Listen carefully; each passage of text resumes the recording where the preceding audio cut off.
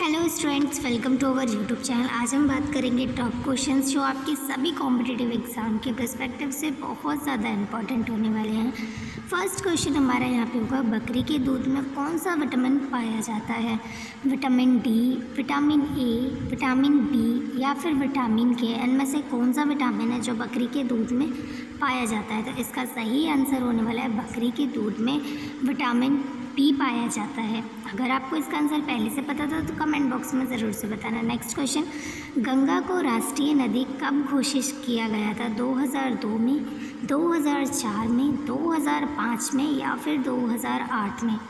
सही आंसर पता है तो कमेंट बॉक्स में पहले से ही बताएँ। तो गंगा को राष्ट्रीय नदी 2008 में घोषित किया गया था। अब हम देखेंगे हमारा नेक्स्ट क्वेश्चन चाँद कथकली किस राज्य का लोक नृत्य है। मतलब कथकली जो डांस है हमारा बेसिकली वो किस राज्य का सबसे ज़्यादा फ़ेमस या फिर पॉपुलर डांस है?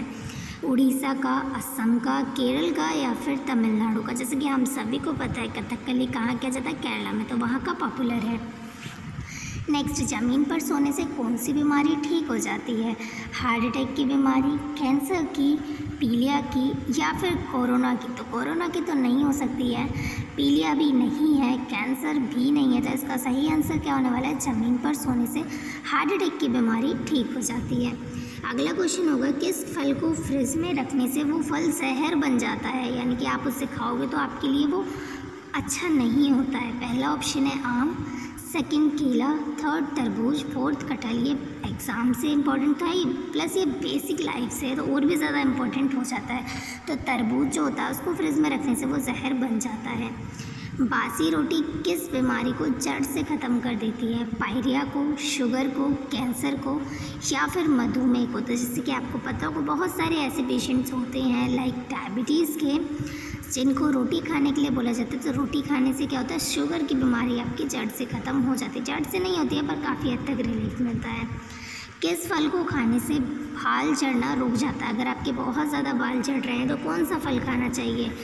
पपीता, केला, कीवी या फिर आंवला? तो इसका सही आंसर होने वाला है आंवला। आंवला खाने से आपके बाल झड़ना बंद हो जाता है। अगला क्वेश्चन हमारा होने वाला है, आज ना आना देना, मुहावरे का सही अर्थ क्या होगा? गड़बड़ होना, आज से दूर रहना, कोई कष्ट ना होने देना या फिर सर्दी ना लगना? तो आज ना देने का सही मुहावरे का अर्थ होने वाला है, कोई कष्ट ना होने देना। इसका सही आंसर ये रहने वाला है अब हम देखेंगे हमारा नेक्स्ट क्वेश्चन फ्रिज का पानी पीने से कौन सी बीमारी हो जाती है? वैसे भी हमें फ्रिज का पानी नहीं पीना चाहिए। फ्रिज के पानी पीने से ज़्यादा अच्छा पानी होता है, सादा पानी सादा पानी ज़्यादा अच्छा होता है। फ़िलहाल इस क्वेश्चन के ऊपर फोकस करते हैं कैंसर बुखार कब्ज़ या आँखों की रोशनी। तो फ्रिज का पानी पीने से ना कब्ज़ की बीमारी होने के चांसेस ज़्यादा होते हैं।